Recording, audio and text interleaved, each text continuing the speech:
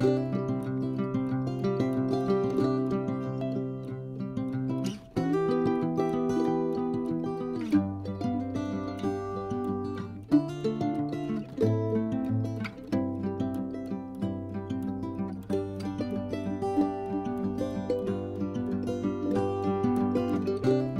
วัสดีค่ะคุณผู้ชมวันนี้จะมาชวนทำฮันนี่เบรดกันนะคะ หรือว่าขนมปังน้ำผึ้ง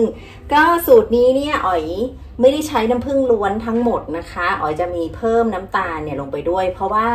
ถ้าเราใช้น้ำผึ้งล้วนทั้งหมดเนี่ย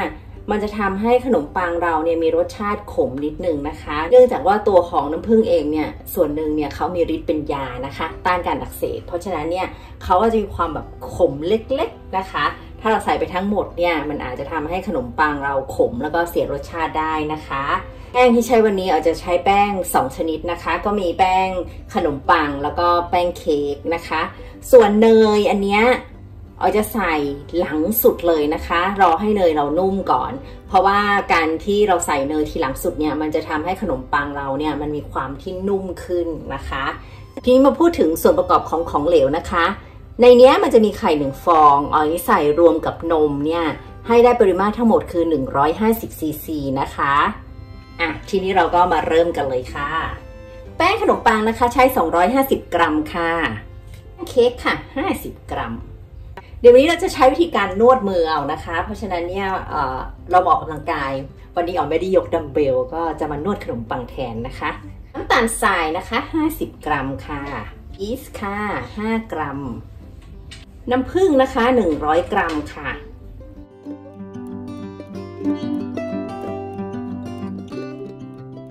ถ้าคุณผู้ชมหาน้ำผึ้งป่าได้นี่โอ้โหแจ๋วเลย จะหอมมากที่เราใช้อยู่นี่ก็น้ำผึ้งป่านะคะ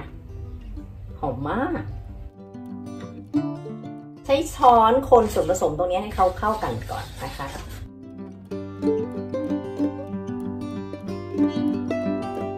เดี๋ยวจะตีไข่ตรงนี้ให้เขาเข้ากันก่อนนะคะ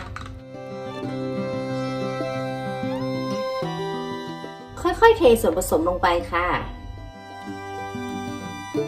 ทีละนิดนะคะ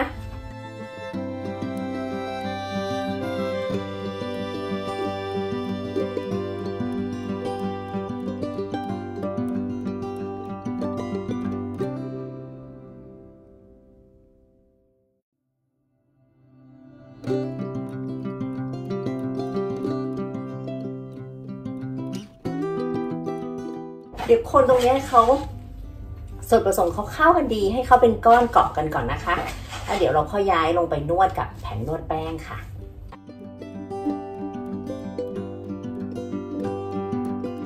ประมาณนี้นะคะ ย้ายลงไปบนแผ่นนวดแป้งนะคะ เราไปนวดมือกันต่อค่ะ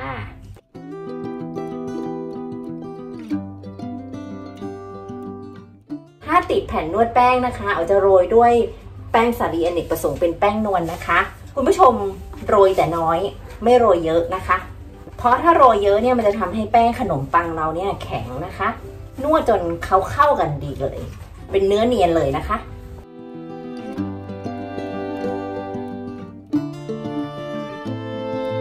ได้ที่อย่างนี้แล้วนะคะ ขั้นตอนสุดท้ายจะใส่เนยนุ่มลงไปค่ะ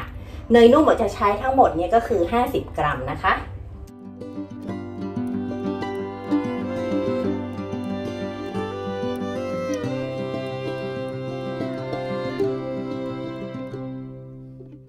ร็จแล้วคุณผู้ชมทำให้เขาเป็นก้อนกลมอย่างที่หอยทำนะคะ เดี๋ยวจะย้ายเข้าไปในโถหมักเพื่อหมักแป้งโดของเรานะคะนุ่มมากจะหมักแป้งโดไว้อย่างนี้ประมาณ 1 ชั่วโมงนะคะ ผ่านไป 1 ชั่วโมงนะคะ โดยก็ได้ที่แล้วมันฟูขึ้นมาเป็น 2 เท่าของขนาดเดิมนะคะ เดี๋ยวมาเทสดูซิว่ามันโอเคไหมว่าเราใช้ได้ไหมเอามือ จิ้มไปนะคะนะคะเอาเอานิ้วจิ้มไปอย่างนี้เขาไม่ฟูกลับขึ้นมาที่เดิมมีรูอย่างนี้แสดงว่าใช้ได้แล้วค่ะ เอาออกมาเลยนะคะ นวดก่อนรอบหนึ่งนะคะ ไล่ฟองอากาศ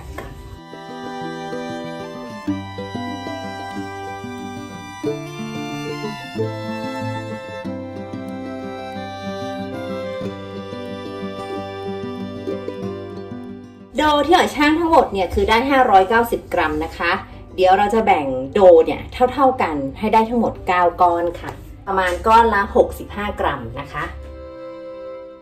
พิมพ์ที่ใช้อบนะคะจะเป็นพิมพ์บราวนี่นะคะ8คูณ8นิ้วค่ะ ถ้าคุณผู้ชมไม่อยากจะใช้พิมพ์เหลี่ยม สามารถใช้เป็นพิมพ์กลมได้นะคะ ทีนี้เราจะมาขึ้นรูปขนมปัง เราจะปั้นเป็นก้อนกลมๆนะคะ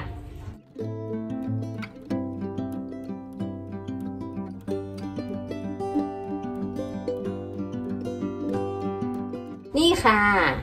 ปั้นแล้วนำลงพิมพ์อย่างนี้นะคะ เดี๋ยวเราจะหมักแป้งโดรอบ2เนี่ยประมาณครึ่งชั่วโมงค่ะ เอาถุงพลาสติกใบใหญ่ ๆ หน่อยนะคะ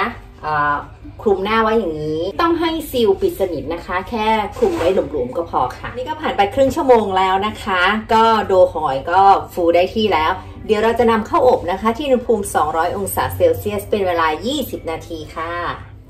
ตอนนี้ครบเวลา 20 นาทีผ่านไปแล้วนะคะ ขนมปังของเราก็อบเสร็จแล้วค่ะ หลังจากที่อบเสร็จอ๋อยจะทาเนยไว้บนหน้าขนมปังนะคะ เพื่อให้ขนมปังเราขึ้นเงาแล้วก็ดูน่าทานขึ้นค่ะ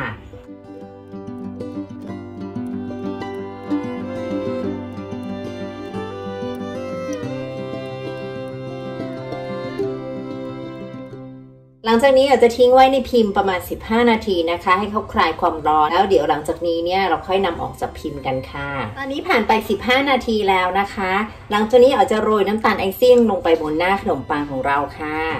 เพื่อความสวยงาม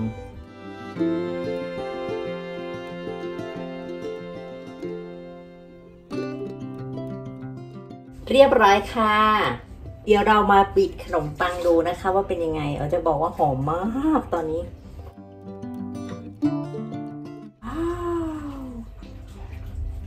มากมากตอนนี้จะบอกว่ายังร้อนอยู่เลยค่ะ คุณผู้ชม